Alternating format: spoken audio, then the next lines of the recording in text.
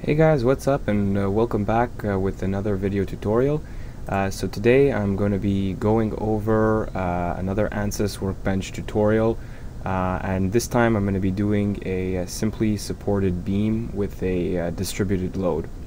So this is just a photo that I took as an example. So at point A we have a fixed support and on the point B we have roller support so it allows movement in the X direction um, but fixes the uh, movement in the Y. And Q here is a uniformly distributed load uh, across the beam. So for this example, um, I'm going to uh, use a beam length of 1 meter, so uh, 1000 millimeters. Uh, my beam load uh, I'm using is 5 newtons per millimeter and young modulus we're just going to use steel in this case so uh, 210 uh, gigapascals uh, or, or in this case in, in, newtons per millimeter squared just to keep units. And the section that I'm going to be using is um, uh, 40 millimeters by 40 millimeters uh, all these values are just arbitrary. Uh, you can really you can use whatever you want, but just just for the sake of the example. So here uh, c is actually the distance from the central neutral axis to the edge. So that's going to be half of the 40 millimeters, so 20 millimeters in this case. And the moment of inertia is going to be calculated using this formula for a square cross section, and the section modulus z using this formula here. So let's begin. So we're going to open uh, ANSYS Workbench and we're going to drop in a, a uh, static structural analysis. And here we can rename this to uh, simply supported beam. Uh, next, you want to make sure that you file, you save your project. So just save as. I already saved it, so I'm just going to hit save now. We're going to first open engineering data and just to check out the properties so in my case I specified uh, 210 uh, for the Young's modulus. So the only thing that we're going to change in the engineering data here is this Young's modulus. Uh, so I'm going to put this in megapascals. So instead of 200 we're just going to put 210 and we're going to keep the Poisson ratio uh, and the rest of the parameters default. So then we're going to go back to our project now that we have our engineering data done, we're going to go ahead and uh, double click on geometry. And in this case, we're going to be doing a 3D uh, geometry. You could actually uh, simplify this uh, problem using a line body, but in this case, I'm going to be doing the full 3D model. So go ahead and click on XY plane, and then uh, do uh, look at. So this basically makes you normal to the XY plane. And then click on the sketching tab, and what we're going to do is we're going to add a snap to grid in this case. So if you go into settings, grid, check uh, snap and uh, show in 2D. And uh, actually I forgot to mention we're going to uh, change the units to millimeters. So once you have that done, I'm going to zoom in a little bit, go hit draw, rectangle, and we want it to be, uh, what do we say, uh, 40 by 40 so we're going to go ahead and snap it like that. So there we go. We have 40 millimeters across, 40 millimeters high. So that's going to be our section. Then we're going to go back to modeling. And then we're going to go ahead and click on our sketch and then go extrude. And then we're going to, we already have the uh, sketch selected and we're going to go hit apply. We want to add material. And here for the depth, we're going to put uh, 1000. So we're going to extrude it one 1000 millimeters and go ahead and click generate. Now as you can see we have our beam. So once that's done uh, we can go ahead and either close or minimize it and now we're going to go ahead and launch modeler. So we're going to double click on model which will start the uh, mechanical interface. Now once in the mechanical interface uh, we're going to leave the geometry default the mesh, uh, we're just going to change the sizing to uh, element size. We're going to put 20 millimeters. right click on that and hit generate mesh. So that's going to give you a very a coarse mesh. Um, but we can actually, uh, we're going to actually improve the mesh later on. So uh, now we're going to go and apply our boundary conditions. So under static structural, right click, insert, and we're going to insert a fixed support. Now by default we have a face select, but we want to choose the edge, so click on edge, and then choose this bottom edge here and hit apply. So we're going to fix this end, and now for the other end, we're going to rotate around, we're going to right click static structural, insert, displacement, and then we're going to click on this bottom edge here, oops, this edge here, hit apply. And now in order to simulate the uh, uh, simply supported, uh, we want to only fix it in the Y. Uh, so we're going to go ahead and choose the Y here instead of free. Click on the arrow and hit constant. So zero means that we're fixing the movement in the Y direction. And actually we also don't want movement in X direction as well because we're in 3D space here. So we're going to go ahead and fix the X as well. So it's only free to move in the Z which is so fixed in, fixed in all directions here and only free in the Z in this case, which is also allowed to rotate, which is what we want. Then we're going to go ahead and add our uh, force. So right click force, so we're going to add it to the face, so we're going to go face select, choose the top face, hit apply, and then in the magnitude we're going to put 5,000 newtons. And by default the arrow is actually facing the wrong way, so we're going to click to change the direction and click on the arrow here, and then click apply. So now it's pointing in the negative y direction. You could have also actually just hit negative 5000 and it would have done the same thing. So that's going to be our load. Because in this case, uh, 5000, yes, that's correct. So 5000 newtons.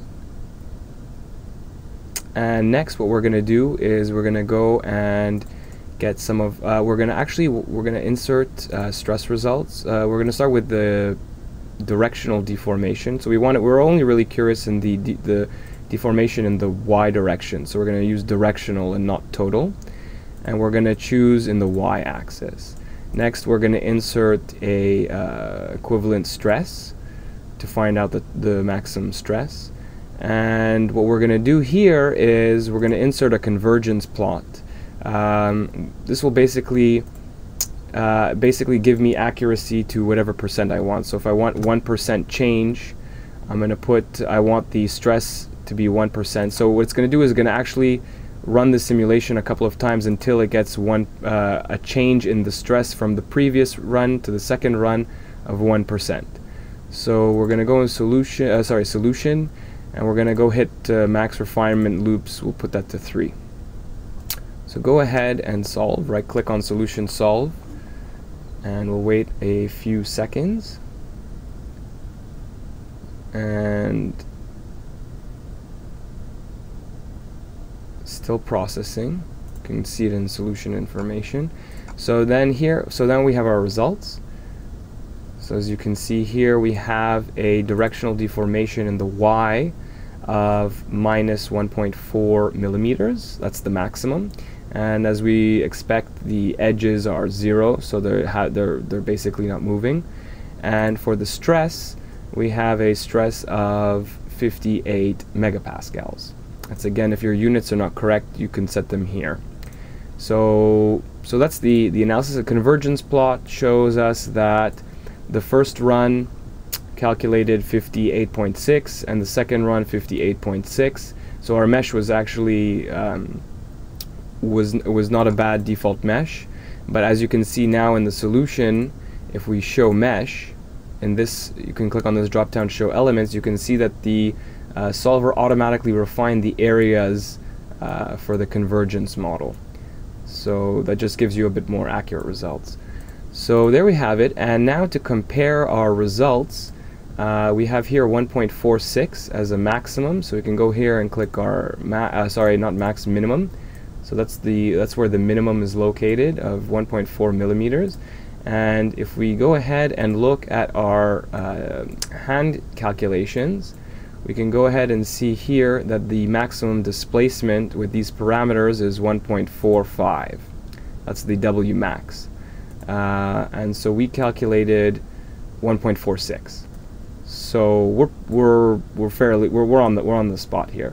And if we go ahead and check out the stress, we can we're interested in the maximum stress and the maximum stress in this case is located on the bottom face but it's probably uh, the same thing or similar on the top face of 58 uh, megapascals. We can go ahead and check our hand calculations once again using these formulas. We can see that our sigma max is uh, 58.59 uh, using these parameters. So our FEA results uh, basically it basically shows that it compares with the uh, analytical uh, ca hand calculation results.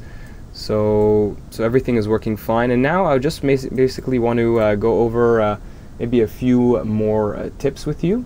So uh, in this case, we can also, I just want to show you how to use a section cut.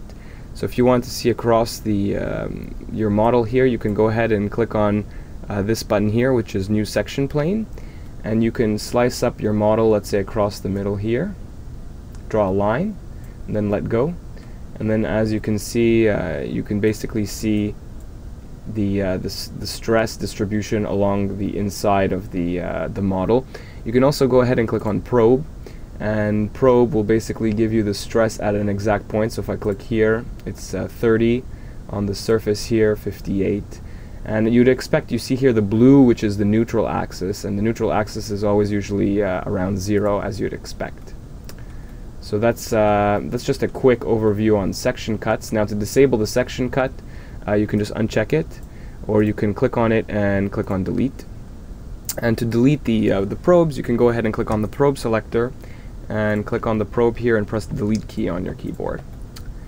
Now, uh, another thing that I wanted to show um, was uh, was basically uh, report generation and also maybe some path generation. So what we could do is uh, you can go ahead into model, right click, insert construction geometry, and then right click construction geometry, insert path. And then here we're going to click on the edge selector and we're going to click on this edge and hit apply and then we're going to scroll down here for the end and click on this edge and click apply. And uh, so now we have a path from the center of this to the edge of that. And now what we're going to do is, let's say we're curious to see um, what the what the uh, deformation is along this line. I mean, here we have the the total deformation of the whole model, but let's say we're just curious along the surface on the top. So we create this path here. Then in solution, what we're going to do is we're going to uh, actually duplicate this directional deformation. So duplicate without results. And then instead of a geometry selection, we're going to go ahead and choose path. And then under the path, we're going to choose the path that we want. And then we're basically, again, we want the Y. So we can right click and go evaluate all results. And there you have it. So now you have the uh, deflection on the top of the, uh, of the beam. And if you wanted to do the same thing for, let's say, the stress, uh, you can go ahead and insert, uh, you can duplicate again without results we're going to just delete this convergence plot because we don't want to redo the convergence plot. And we're going to go path and then choose the path and then evaluate results. And there you go. Now you have a stress plot along the top surface of the beam. So at this point here it's zero, at here it uh, reaches maximum and then zero again, which is what you would expect. And uh, let's say you wanted to uh, add this plot to your report, uh, you can go ahead and click on this button here, which is the new chart. And then it just adds the chart here. You can rename it to whatever you want by hitting rename. And we can call it uh, stress top surface. And there we have our stress top surface plot.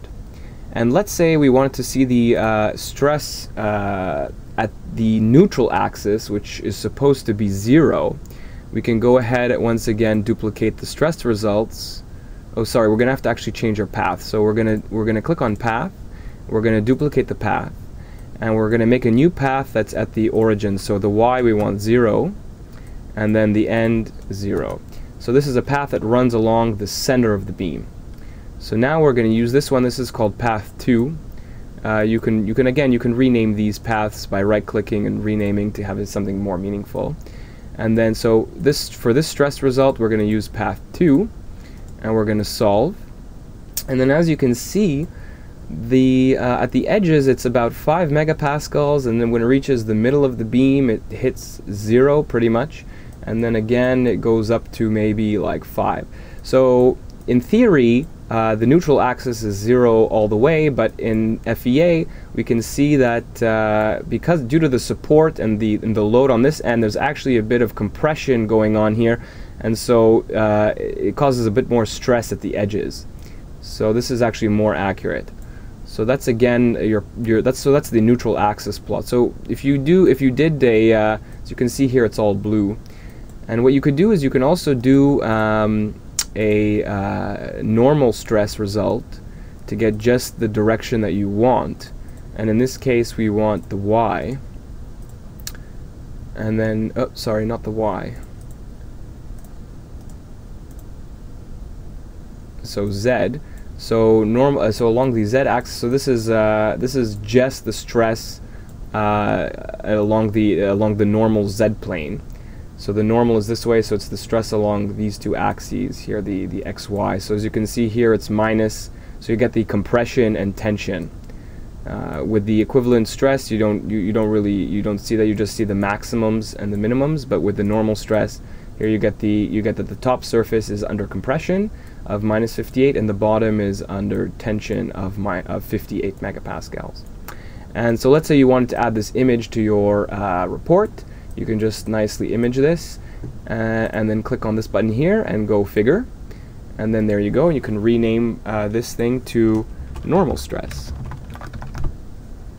and then there you have your normal stress image that will be uh, inputted into the report. And also if you wanted to check let's say the undeformed wireframe you can go ahead and choose that there here in this button here. So you can have the undeformed model and the deformed model. And let's say you wanted to animate this you can go into uh, this button here click play. And it will also animate the uh, the deflection of the beam uh, from 0 to 1 and 1 means basically full load. So that's the ramp that we added here. So 0 is 0 force and 1 is the 5000 newtons. So that's basically the uh, the animated stress plots. You can just here make an animation. You can even save the animation. So once you have your charts and your images, and uh, you can actually, you might want to add an image of this here. So we're just going to go hit a figure, and then that's going to be our, uh, we can just rename this to boundary conditions. So now we have an image of our boundary conditions. We have just an image of our uh, normal stress. We can also add an image of our um, of the equivalent stress. So we have an image there, an image there. We have an, a, a, chart of a top surface. I think we're okay. And then the geometry, uh, we can also uh, inputs it uh, by default. We can have an image of our mesh. We can do that. And then we can go ahead and click on Report Preview right here. So ANSYS will automatically go through everything and generate a report for you. So you can go here, and as you can see here, you have the uh, ANSYS release number. There's your uh, there's the beam, and then here are all the details. There's the, the mesh uh, image. And then here's our loading. So from 0 to 5,000 newtons. This is the image that we did for, we called boundary conditions. So it added the boundary conditions image. So here we have a fixed displacement. Uh, here we have a, uh, a simply supported uh, uh, end condition. And we have C, which is our force of 5,000 newtons. And then you can keep going. And then here we have our image that we added called equivalent stress and then here we have our directional deformation uh, chart that we added. And there you go. So this is the other chart that we added and another figure that we added. Stress top surface. And that's it. So you have this report here. And then once you're done with that uh, you can go ahead and hit publish and you can print your report. So uh, I hope this was a helpful tutorial at getting started with uh, ANSYS. And uh, if you liked it, uh, please uh, subscribe. And if you have any questions or comments, please leave it in the comment section below. Thanks. See you later.